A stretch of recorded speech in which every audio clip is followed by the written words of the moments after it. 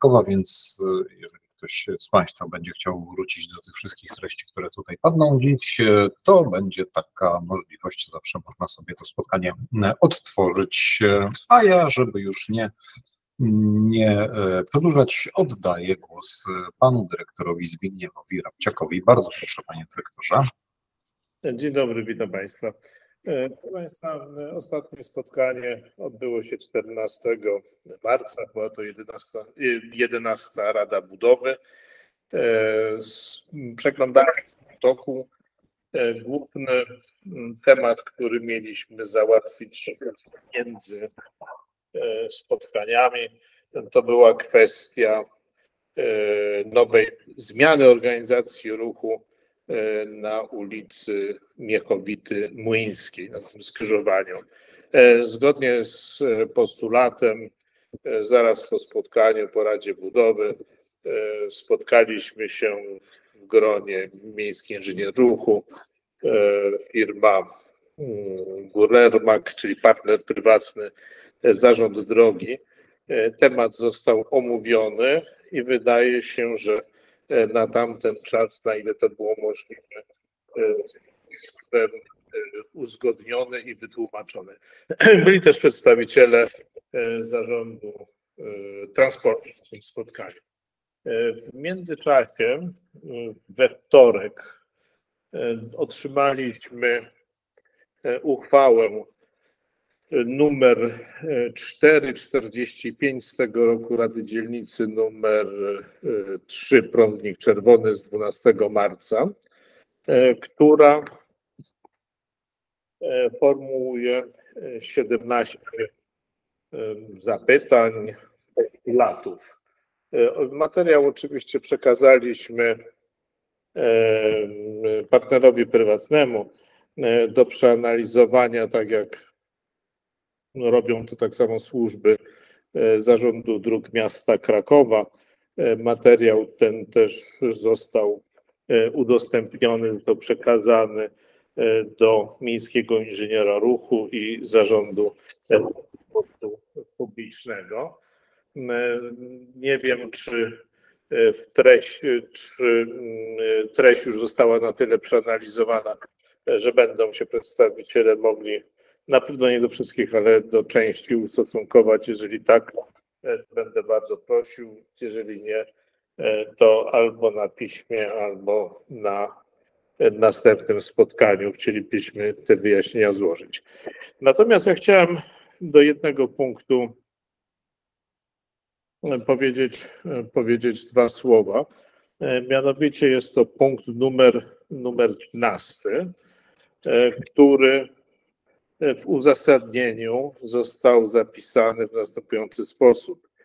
W opinii mieszkańców dzielnicy 3 Prądnik Czerwony dużym problemem jest brak odpowiedniej komunikacji i łączności z nimi oraz dostatecznego dialogu społecznego. Od rozpoczęcia inwestycji minęło już ponad pół roku, a mieszkańcy chcieliby poznać odpowiedzi na interesujące ich pytania. W związku z tym należy zorganizować cykl spotkań informacyjnych na terenie dzielnicy trzeciej Prądnik Czerwony, podczas których mogliby oni uzyskać informacje na temat postępu realizowanych prac oraz planowanych zmian i przyszłych działań. Oczywiście takie, takie spotkanie jest możliwe. Jeżeli będzie trzeba, to takiego spotkania doprowadzimy. Tylko rodzi się pytanie następujące. Nasze co, co dwutygodniowe spotkania, bardzo szczegółowe omawiania tematów związanych z budową, z organizacją ruchu, z tym wszystkim, co się tu dzieje, przez wykonawcę, jak i przez służby miasta Krakowa, odpowiedni, odpowiadające za, za, za obszary, no tak jakby te informacje nie docierały i coś tu, i coś tu po prostu tej komunikacji rzeczywiście nie funkcjonuje. Państwo biorący udział w radach, mówię po stronie dzielnicy, zadają pytania, my się staramy odpowiadać. Generalnie wydaje się, że w zdecydowanej większości te postulaty są przyjmowane i realizowane. W związku z tym myślę, że jakoś oddzielnie będziemy musieli też porozmawiać, jak komunikować się ze społeczeństwem, ażeby pomimo wykonywanej pracy przez nas i przez Państwa, ta praca była po prostu efektywna i widziana przez, przez mieszkańców, przez mieszkańców dzielnicy. Proszę Państwa, tyle.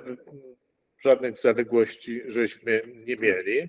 W związku z tym w tym momencie poprosiłbym pana dyrektora Diopka tradycyjnie o zaprezentowanie dokonań z ostatnich dwóch tygodni, to co jest zaplanowane na następne dwa tygodnie. Ze szczególnym uwzględnieniem, panie dyrektorze, proszę o omówienie sytuacji ruchowej, czyli mówię o organizacji ruchu w tym okresie, w tym okresie świątecznym.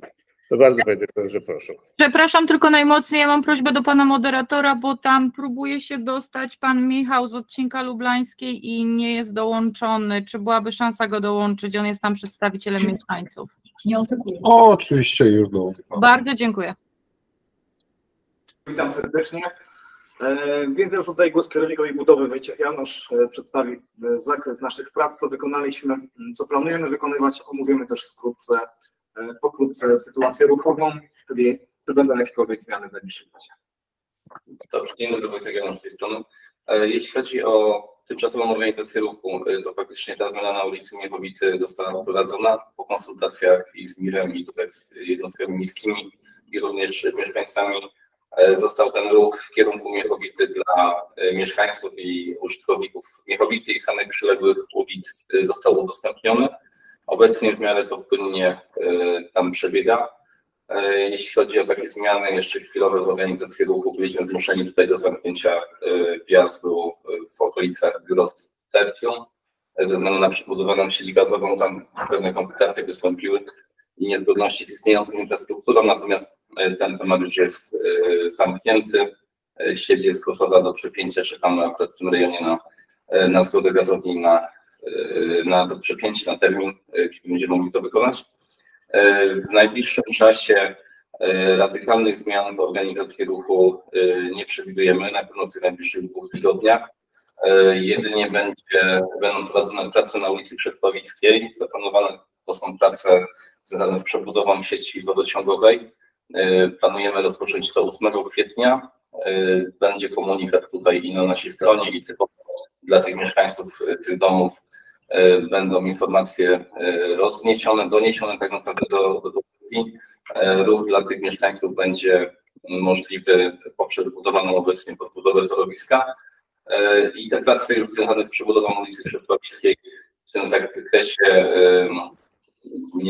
który pozostaje bez zmian, czyli tutaj sieć wodociągowa na tym zakresie e, mniej więcej 50 metrów od głąb ulicy Czechowickiej, będą postępować. Następnie po przepięciu wodociągu e, zostanie wybudowana e, kanalizacja deszczowa, której tam obecnie na tej ulicy w zasadzie nie ma.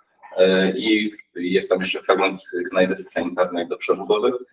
Te prace będą postępować, następnie będą zakresy drogowe wykonywane i po wykonaniu takiej przejezdności zakupów drogowych ten dostęp będzie dla mieszkańców możliwy e, na tej ulicy, o czym będziemy informować z postępem prac. E, ciąg pieszy wzdłuż całej e, tej ulicy będzie zapewniony, teren, teren budowy będzie wygrodzony, będą oznakowania, więc tam nie powinno być większych utrudnień. Natomiast jeśli chodzi o postęp prac, to idąc od południa na ulicy Meissnera wykonujemy tak naprawdę w dzisiejszym są wykonywane przełączenia e, średniego i niskiego napięcia. E, wykonywana jest kanalizacja e, deszczowa. Po tym przepięciu będziemy mieć wolną kolizję właśnie związaną z dalszym odcinkiem kanalizacji deszczowej.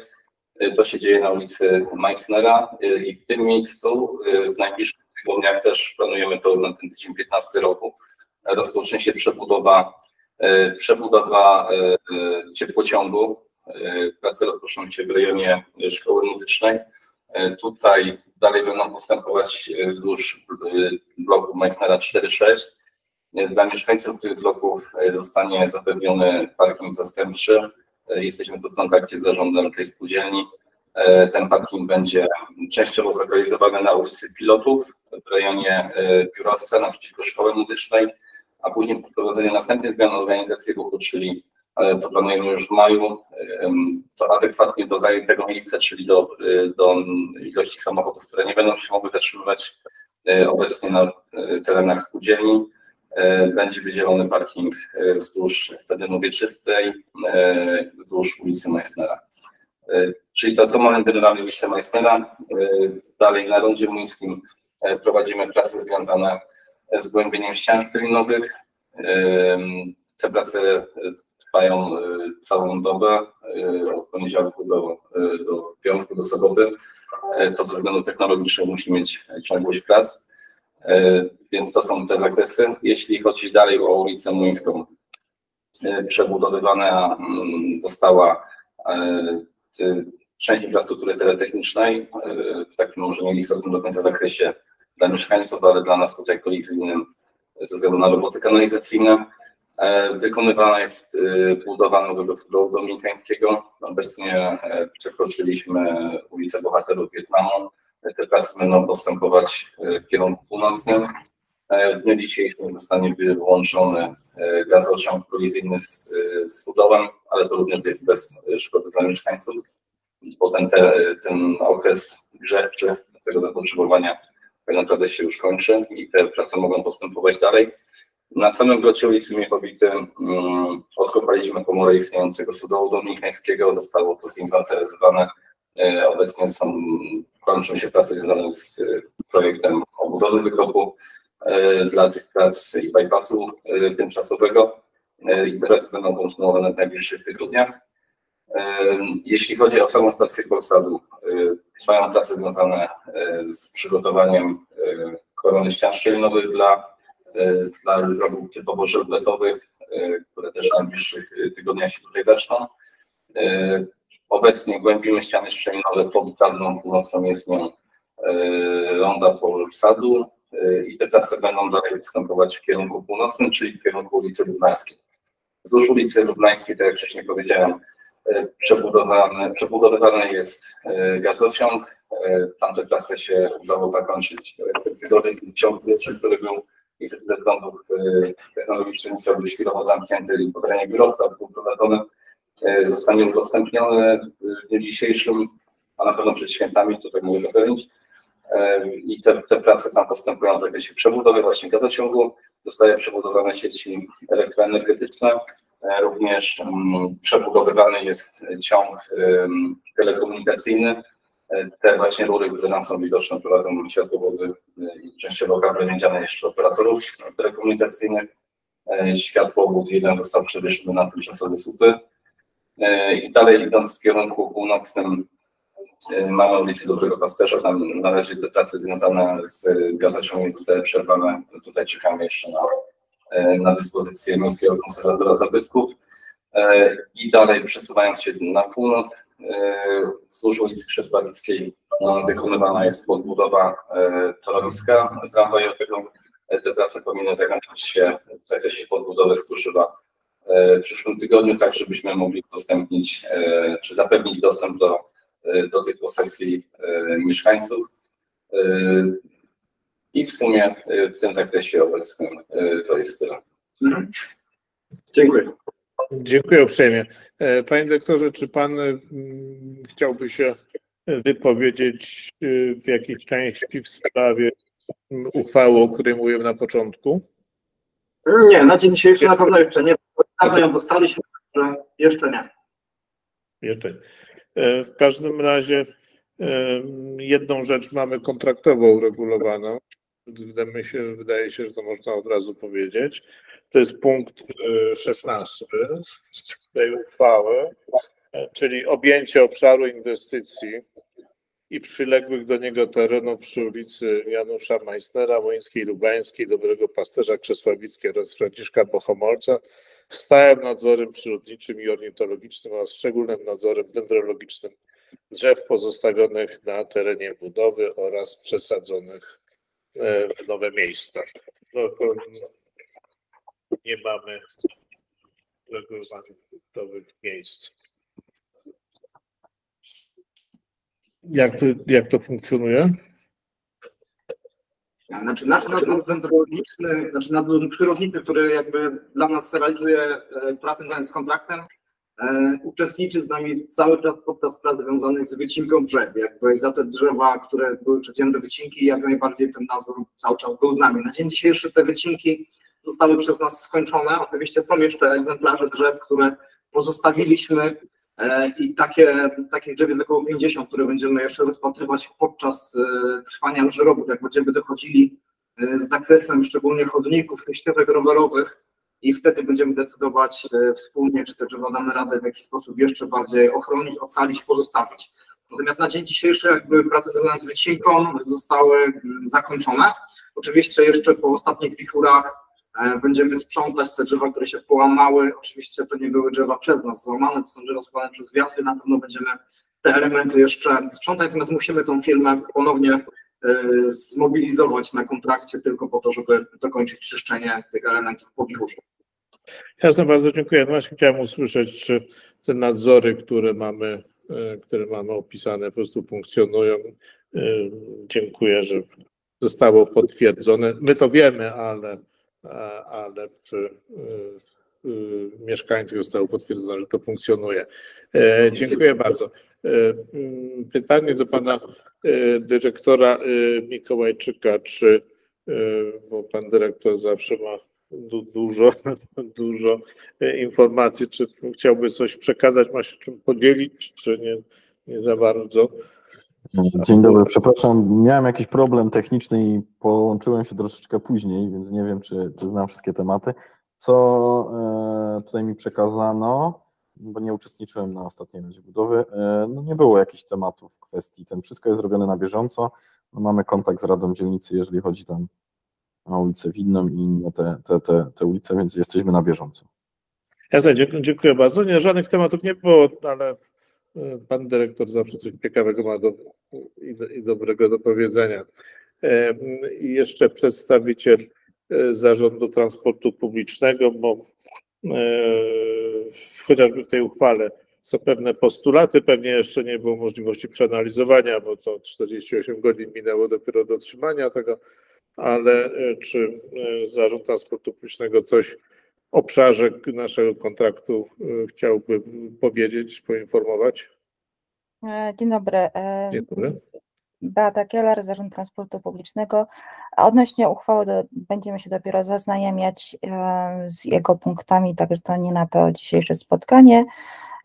A odnośnie budowy, jakby cały czas jest utrzymana komunikacja w, w stanie bieżącym, bez zmian Także dziękuję.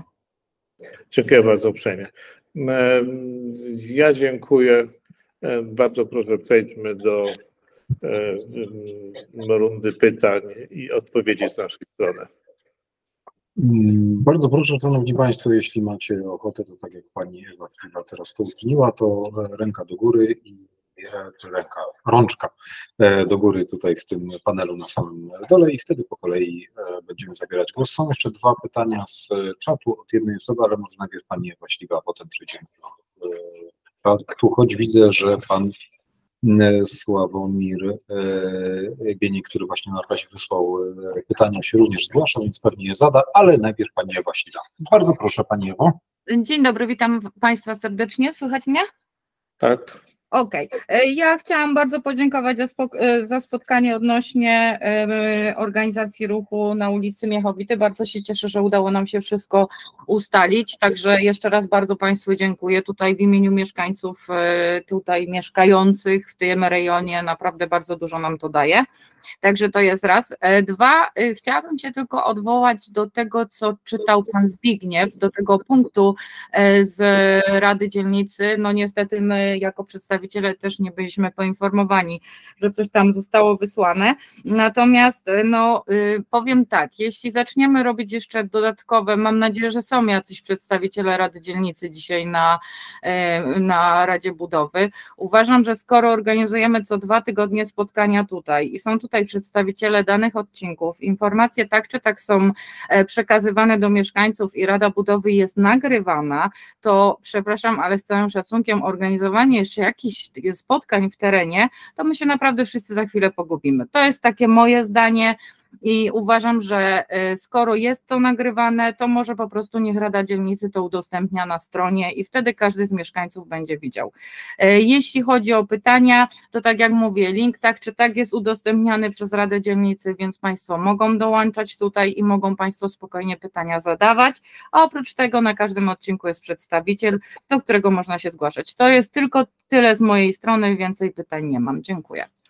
Bardzo Pani dziękuję za ten głos. Ja chciałem jeszcze zwrócić uwagę, e, że przecież e, przez e, poprawi mnie dyrektor Dziobek, nie wiem, 8-10 godzin dziennie czynny jest punkt informacyjny, do którego mogą się wszyscy zgłaszać. Godziny zostały zmienione na prośbę mieszkańców. W większości są dopasowane. E, także mm, wydaje, wydaje się, że e, jest ten obszar informacyjny, jest porządnie e, zagospodarowany, aczkolwiek no, to może być wyłącznie moja opinia. Prosimy o dalsze pytania. Mm, bardzo dziękujemy. E, link e, do tych wszystkich nagrań jest aktualnie w pacie, także bardzo proszę, jeśli ktoś e, ma ochotę, to proszę sobie go skopiować. Pan Sławomir Bieniek, ja rozumiem, że Panie Sławomirze, że ja nie muszę czytać tych pytań z czatu, Pan je po prostu powtórzy. Tak, o ile o, mnie super, bardzo proszę. Słychać jak najbardziej, bardzo. Dobrze, dziękuję. No, pierwsza sprawa to pytałem na którejś z ostatnich budowy o możliwości stworzenia drzew na ulicy Krzesłowickiej, zmiany kształtu tego ciągu drogowo pieszo-rowerowego, który zaplanowano, na coś, gdzie dałoby się wmieścić trochę więcej zieleni. Chciałem się dowiedzieć, czy tutaj Panie, panie Sławomirze, przepraszam, muszę wejść słowo, bo jednak rzeczywiście jakość tego połączenia jest słaba. To zróbmy tak, ja po prostu odczytam te pytania e, pana z czatu, dobrze? Może, e, nie wiem, spróbował pan zresetować, e, zresetować połączenie. Może by się wtedy udało, dobrze? No, możemy tak się, bo i tak jakby niewiele, niewiele, niewiele rozumiemy, więc, więc ja w takim razie czytam to pierwsze pytanie. Na jednej z poprzednich rad budowy e, poruszałem temat możliwości posadzenia drzew na ulicy Krzesławickiej. Czy sprawę udało się przeanalizować? Czy jest możliwość zaplanowania na tej ulicy drzew? To pierwsze pytanie. Prosimy o odpowiedź i potem przejdziemy do drugiego. Tylko też byśmy Panie Sławomirze prosili o to, żeby Pan wyciszył mikrofon, bo wtedy e, będziemy wszyscy lepiej słyszeć. E, tak jak, tak jak żeśmy mówili na ostatniej radzie, sprawa została przeanalizowana. Projektant przedstawił, przedstawił koncepcję i e, będzie, e, będzie to realizowane.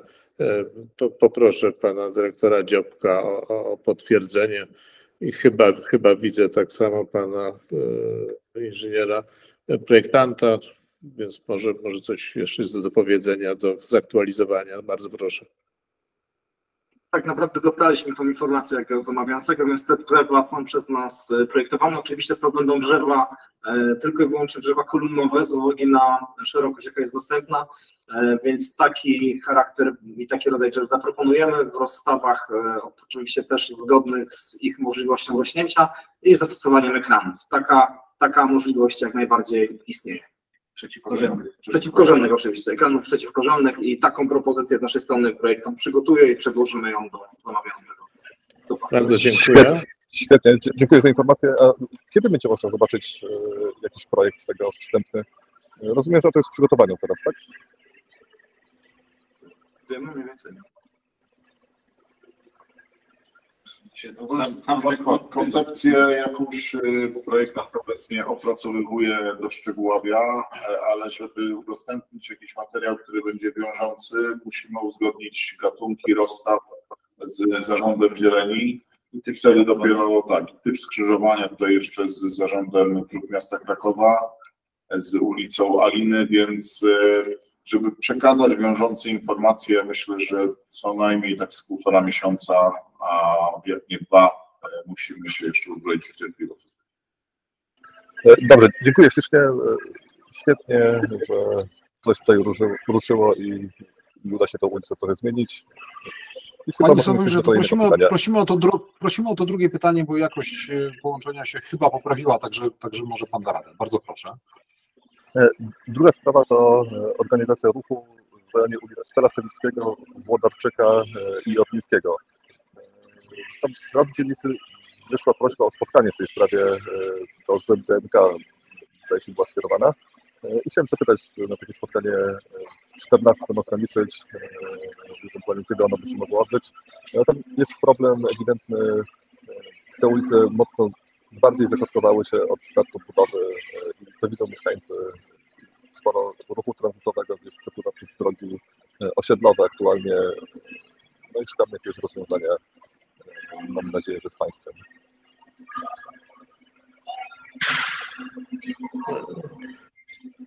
Sprawa, sprawa y, organizacji ruchu to też, panie dyrektorze, no rozumiem, że to dotyczy związane z, że to pytanie dotyczy organizacji ruchu, zmienionej organizacji ruchu z tytułu budowy, prawda? Czy, czy, czy pan To, to, to, to, bardziej chodzi o to, żeby e, może tymczasowo na tych ulicach też wprowadzić e, inną organizację ruchu, która jakoś tam pomogłaby wyeliminować te problemy, które mają mieszkańcy aktualnie ze wzmożonym ruchem związanym z budową. To są jakby ulice poza terenem budowy, my na dzień dzisiejszy nie ingerowaliśmy i też organizacje ruchu na nich też nie wprowadzaliśmy. No ale jednak e, budowa wpływa e, też na ruch w innych częściach, e, czy to w dzielnicy, czy w dzielnicach sąsiednich. No jakby tutaj też są potrzeby, tym powinny zająć. Pan- Czy, pan dyrektor Mikołajczyk chciałby zabrać głos? Znaczy, mm, powiem e, szczerze, że teraz nie kojarzę, czy Pan mówił, że pismo wyszło do zarządu dróg miasta Krakowa o spotkanie z Rady Dzielnicy. Nie wiem, czy do nas spłynęła jako do Wydziału Miejskiego Inżyniera Ruchu taka prośba, no ale jeżeli jest potrzeba, no to skontaktujemy się z Radą Dzielnicy. Czy widzą potrzebę się spotykać w terenie? Jeżeli tak, no to zorganizujemy spotkanie. No, będziemy się zastanawiać. Bardzo dziękuję. Dobrze, to rozumiem, że mogę, można liczyć na taki kontakt z Państwa strony. No, bę- będziemy się kontaktować z Radą Dzielnicy. Dobrze, dziękuję w takim razie. Super, bardzo dziękuję. Czy jeszcze ktoś z Państwa ma jakieś pytania? To bardzo proszę. To jeszcze ja bym tylko skorzystała, jeśli nie ma chętnych do pytań. E, Pytanie do wykonawcy, czy przewidujemy w najbliższy, przez najbliższy miesiąc jakąś kolejną zmianę organizacji ruchu, taką dość mocną? Nie, w najbliższym miesiącu nie, natomiast kolejna zmiana ruchu będzie polegała na wydłużeniu odcinka e, w ulicy Meissnera aż po ulicę Śliczną, czyli przełożenie ruchu na stronę e, wschodnią, zamknięcie zachodniej i to przełożenie planujemy na początek maja, tak naprawdę po święcie majowym. Okej, super, dziękuję pięknie. Bardzo dziękuję. Jeszcze ktoś z Państwa ma pytania? Nie ma. E, Szanowni Państwo, po, pozwólcie, że e, w związku z zbliżającymi się świętami e, wszystkim Państwu złożę życzenia spokojnych, rodzinnych świąt, wypoczynku i jak najlepiej, jak najlepiej spędzonego czasu. Spotykamy się tradycyjnie za dwa tygodnie, czyli 11 kwietnia o godzinie 12. E, Być może będzie to znamienna Rada Budowy, bo będzie to Rada numer 13. E, Ale zak- zakładam, że będą same, same dobre e, informacje dla obydwu stron.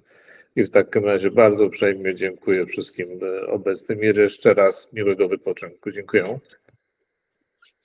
Bardzo, Dziękuję. bardzo dziękujemy Państwu.